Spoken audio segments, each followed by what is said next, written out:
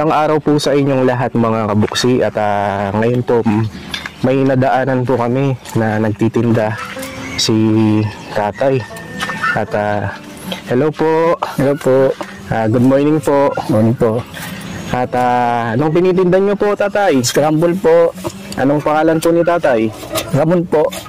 Hmm, kaano-ano niyo po yung kasama niyo po? Anak ko po, dalaga ko po. Ah, anong pangalan mo ning? Brenda po. Brenda. Apo. Ah, nag-aaral ka? Apo, nag-aaral po. At ah, ngayon tatay, ano po yung tinitinda niyo ngayon? Scramble po ng mag po. Pwede makita po tatay. Apo. Ah, ito po yung tinitinda niyo tay. Scramble po. Um, magkano yung ganyan tatay? Ano po? May 10, may 20. Ano po? Um, pwede pabili tatay. Opo. Dalawang sampu po kasama ko po yung ah, cameraman ko po. Opo. Kumusta naman po tay? Kumusta naman po yung pagtitinda? Ito po, nakakaraos di kahit na paano. Nakikita ng konti. Nakakasya po namin. Ilan po yung anak niyo po tatay? Apat po. Dalawa po yung nag-asawa na. Tapos nag-aaral po yung dalawa. Grade 11 saka grade 4 po. Oo. Si Ling, anong, anong grade ka na lang? Grade 11 po. 11. Apo. Buti kasama mo si tatay mo. Opo, para hindi rin po masyadong mabigat pag sa ginagawa niya po. Tinutulungan mo siya. Opo. Kakakumpisa niyo pa lang yata ngayon. Opo, kakalabas lang po namin. Kumusta naman po yung pagtitinda? Pag Ayos naman po. Nakakaraos din po. Nagkakasya lang po yung kinikita. Tapos titinda pa po ako ng pandesal sa umaga, balot sa gabi. Kumikita ako ng pandesal 150. Ay, maliban dito tatay sa pagtitinda ng scramble, nag nagtitinda pa po kayo ng pandesal. Opo, ma- madaling araw po. Tapos sa gabi, balot. Ah, nagtibalot po. Opo, para may pang ano rin po, pang baon ng mga anak ko po.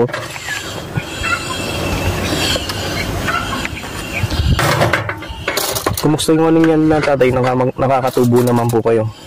Makakatubo rin po, kumikita po ng, hindi pare-pare po ng ano, 300, 250, dalawang lang, ganun po. Tapos pag ano, bibili na ng isang kilo bigas, Ang sarap tatay. pagkakasyahin na po ng kinikita. Tapos yung sa balot, kinikita ng dalawang din po. Kasi gagasolina ko pa yung motor. Oo. Tapos baon pa nila, bambaon nila araw-araw. Ang po, ganun yung kapatapos ko man na kahit sa ganitong baganap pagtitinda. Hanap buhay. Yun po. Tapos Na, ang dami niyo palang ginagawang trabaho tatay mula umaga po. Opo, Pagtitinda ng pandesal. Opo. Alas Hapon. tres po, madaling araw. Malabas na po ako. Tapos ko po magtinda ng pandesal. Pupunta na po ako sa scramble. Magtitinda na naman po ako ng scramble. Matatapos po ako hanggang alas 4. Balit naman po yung titinda ko sa hapon hanggang gabi. Tat- Tatapos pa ako alas 11. Tapos pahinga ko lang po ilang oras lang po. Nigising na naman po ako alas 4 mas stress ganun po para may pang araw-araw po kami Yun po Tay, bakit na lang ganito po yung pagpupursige niyo po na pagsumikapan niyo po sa pang-araw-araw po? para yung mapag-aaral ko po yung mga anak ko may iraos ko po sila sa pag-aaral nila may, may tapos ko man lang yung dalawa Anong Opo. pangarap niyo po tatay para sa anak niyo po? yun yun po yung kapag-aral po siya ng college po Anong pangarap niya Anong grade ka na ngayon Ning? Grade 11. Opo. anong pangarap po siya ganun po Anong pangarap mo? Um, tagkuhan po sana pag mag-criminology po sana. Bakit gusto mo mag, ano, mag-criminology? Ah, kasi wala po kasi pagpa, pagkabata, yun na po yung gusto ko po.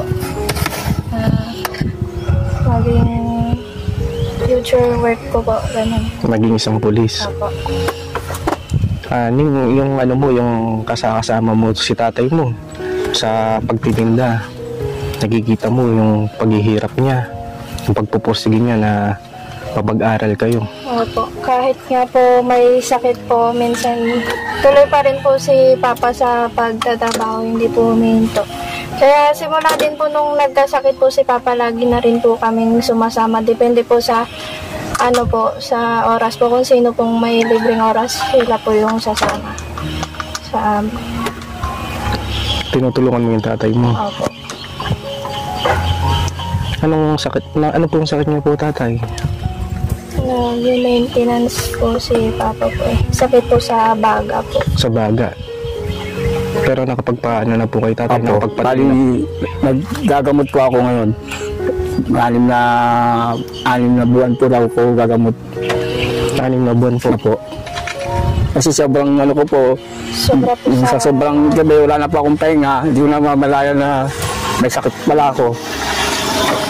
Yun po. Eh, nagkasakit pa ako na naluba na pala. Pinacheck up ako ng asawa ko, yung pala maano ng baga ko. Kakatubig na. Yun po yung una po, ayaw niya pa po magpa-check up kasi yun nga po yung paghahanap buhay niya po. Tsaka iniisip niya rin po yung pera pong magagastos.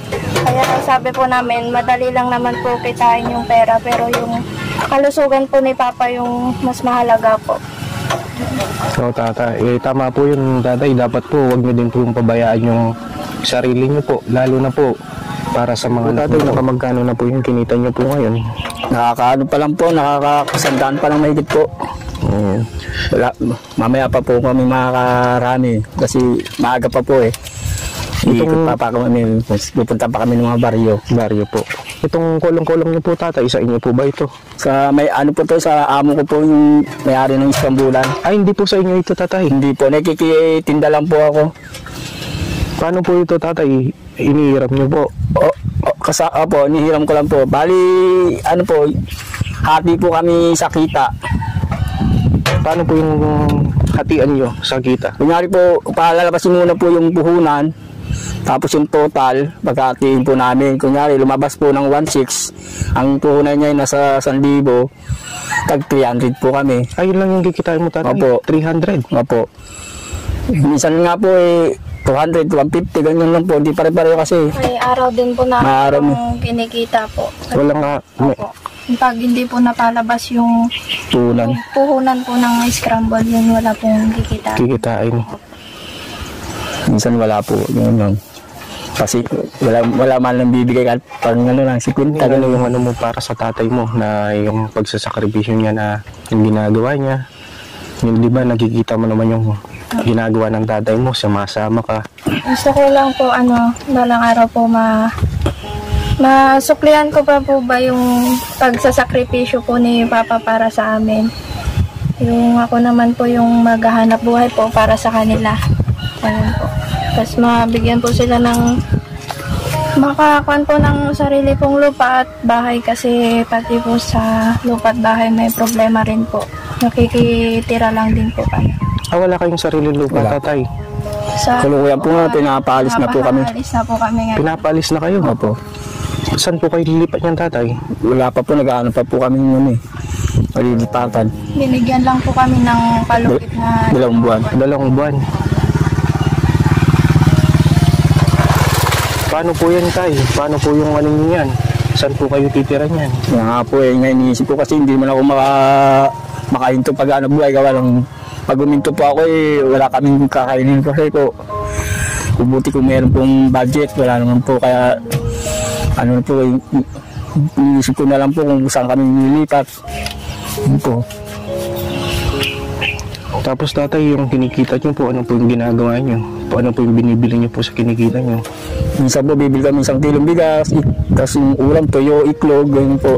sakto lang din po Sakto sa lang po. Sa pangbaon po kasi nila, binuhiwalay ko yung baon nila. Minsan nagbabaon lang sila tag 20, ganun po. 20, 10. Maghapon na po yun, yung baon nila po. Pagbabaon, atiran ko na lang sila ng pagkain nila sa tanghali. Dadaon ko yung baon nila. Ngayon po, tatay, pagkatapos niyo pong magtinda ngayon, bibili muna po kayong bigas. Opo, iaatin ko. Sa gaya po, yung natid namin yung bigas, sasaingin nila. Ang tapos ulam na iklog, yun po. Natid ko sa kanila. Tapos alis na po ako, magtitinda na po ako. Opo. Ano, tatay, no, ah, ganito po. Mm, sakto po yung pagkakita po namin sa inyo, tay. Apo. Noning, basta ano, atay, uh, wag lang po kayo mawala ng pag-asa. Opo. At ah, malay nyo po, sana tatay, marami pa po sanang blessing po na ipagkaloob po sa inyo ng Panginoon Diyos. Opo. Sana itong pagkakita po namin sa inyo, tatay, magbukas po siya ng pinto Opo. na meron pong makatulong po sa inyo, tatay. Opo. At ah, nakikita ko tatay yung pagpupursige nyo, pagsusumikap nyo, yung kabaitan nyo po at yung pong pangarap nyo para sa anak nyo. At ah, Ning, basta magsumikap lang no. Opo. At uh, ayahan mo sana loobin ng Panginoon Diyos na sana itong pagkakita namin sa inyo na mayroong makatulong. Yan po mga kabuksi, nakita po natin si tatay, nagtitinda po siya ng ah, ano po, nagtitinda po si tatay kasama niya po ang kanyang anak at ah, nadaanan po namin. At ah, ngayon tatay, aning meron kaming ibibigay na tulong po sa inyo tay. Opo. At ah, alam naman po natin na napakamahal po ng bigas Opo. ngayon. Opo. At ah, kukunin lang po namin ng sasakyan para ibigay po para sa inyo po. po. Salamat po. No, tay. Tay, parang na, napapaluha po kayo ngayon. Hindi hindi namin akalain na may lumapit sa amin gano'n. Na, na magbibigay po sa amin. Kaya Salamat din po sa ibibigay. Laking bagay na rin po. Makakaminis na po sa pambili. Po. Sa ano tay, na pag gabi po, bago po kayo matulog, ano po yung dinadasal niyo po? Na pag sa umaga, sa hapon, sa gabi, sa pagtatrabaho, na nakalipas po, bago po kayo matulog, ano po yung dinadasal niyo po? Ah, ano po, sana makahanap po kami malilipatan na kasi dalawang buwan lang po yung ano namin eh. Palugid sa amin eh. Kaya minsan di pa ako nakakatulog gawa ng iniisip ko kung saan kami lilipat. Tapos magtitinda pa po ako ng pandesal sa umaga. Alas stress po ako na umaalis sa bahay namin. Yun po. Mahirap na tay. Parang dami din pong mga pagsubok na dumarating po sa buhay po natin pero kailangan natin lumaban po. Opo. Tapos magtitinda pa pa ako ng scramble. Ay ilang, ilang oras lang po rin pahinga ko eh. Kaya po yun, sinasamahan nila ako gawa ng may sakit po ako. Gagaw, nagagamot. Ngayon po tatay, ah, ito po yung anak niya po. Ano po yung gusto niyo pong sabihin sa kanya para yung ano niya po na yung pong lalo na sa pag-aaral po ng anak ko. Kaya sa- sabi ko sa pangako ko sana ko makapagtapos siya, wag muna siya mag magbo-boyfriend, mag-aral siya maigi para matulungan mo naman kami po. Kung anong pangarap niya, pipilitin ko pong makaya kahit po to, sa ganitong hanap buhay lang po. Basta makatapos lang po yung anak ko. Ikaw ning anong ikaw ning anong gusto mong sabihin sa tatay mo? Um, ayun pa. Pangako ko sa inyo na magtatapos po ako ng pag-aaral ko. Hindi ko po bababayaan. Para kahit pa paano po eh, may masukli po ako sa pagsasakripisyon sa amin, magkakapatid. Ayun. Sige po tatay, no po. Sana itong ano po namin na pagkakita nga po namin sa inyo at ah, Ning no, sana hindi lang dito matapos yung pagbigay namin ng tulong. Opo. Sana kahit pa paano matulungan ka namin lalo na sa pag-aaral mo. At ah, ako kami po kasi tatay, ako po, ang ginagawa ko lang po na mabidyuhan ko lang po kayo. At ah, sa pamamagitan po ng video ko po tatay, yung mga kababayan po natin na nasa ibang bansa na kung may ano po na may mabuting puso na may kakayanan Opo. na makatulong po lalo na po sa kalagayan nyo lalo na po yung pagka, pagsusumikap nyo po sana si ang anak nyo po sana mapabilang din po sa mga tinutulungan po namin na mapabilang sa mga eskola at din po namin ah may bibigay po kami ng tulong po sa inyo ito po bigay po ni Ma'am Mamita from San Diego Opo. ito po 25 kilos na bigas. Sabi niyo nga po tayo na kilo-kilo lang po yung Opo. binibili niyo po. At ah, may dala po kaming sabon panligo, panlaba. May dala din po kaming grocery, toyo, suka, biskuit, dilata, mga noodles. Ito po tatay. Salamat po. Di ba akalain mo na kami po na napili mo. Salamat po. Maraming maraming salamat. Tatay, at ah, sana tay itong tulong na ito, sana kahit paano mabigyan po namin kayo ng kasiyahan. Opo. At ah, sana loobin pa po ng Panginoon Diyos na marami pa po sanang blessing ang pagkaloob po sa inyo. At sana sa anak niyo din po matulungan po namin. Hindi po ako nangangako tatay, pero sana ah, loobin po ng Panginoon Diyos na sana matulungan namin sa kanyang pag-aaral. Ikaw Ning, kung sakali na ibibigay ko yung pagkakataon sa iyo na sa mga kababayan natin na may kakayanan na makatulong lalo na sa pag-aaral mo. Ibibigay ko ngayon yung pagkakataon sa iyo na manawagan na alam naman natin yung kinikita ng tatay mo sakto lang. At ngayon, yung pagkakita namin sa inyo at ah, bibigay ko ngayon yung pagkakataon na panawagan sa mga kababayan natin na may ginintuan na puso na lalo na matulungan ka sa pag-aaral mo.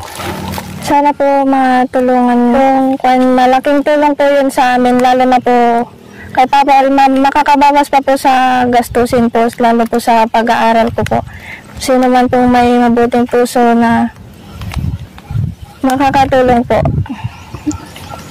sa pag-aaral. Ayun po. Yung pag-aaral mo ngayon, kumusta naman? Okay yung mga grades mo? Okay naman po. Nag-aaral ka ng mabuti? Apo.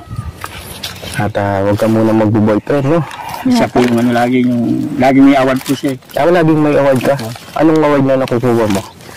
Um, hindi alam. Nung kan lang po, nakaraang grade 10 po. Um, pero matataas yung mga grades mo. Apo. At ah, tatay, no tay, pag sumikapan niyo po, no? Opo. At uh, pagporsigin niyo po, lalo na yung bata na makapag-aral po siya. At ah, ito po mga kabuksing, meron na naman po tayong panibagong pamilya po na natulungan at ah, sa pamamagitan po ng ah, mga video po natin sa pagbigay po ng sponsor ni Ma'am Mamita from San Diego. Nakita po natin si tatay kasama niya ang kanyang anak. At ah, ito pong pagbigay po natin ng tulong. Napakalaking bagay po sa pang-araw-araw po nila. Lalo na po itong bigas. No, tay? Opo sa So, tatay, may bigas na po kayo. Lagyan na lang natin doon, tay. Opo, salamat po. Ah, sige po mga kabuksing, maraming salamat, po sa inyo lahat. Buhatin ko lang po. Dito na lang natin lagay, tay. Opo, salamat po. Para pag-uwi niyo po, may bigas na po kayo. Salamat po.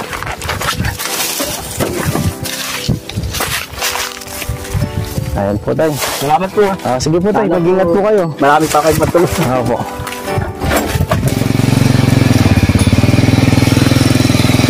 Sige po, tay. Bye-bye po. Thank you po. Sige po, bye-bye.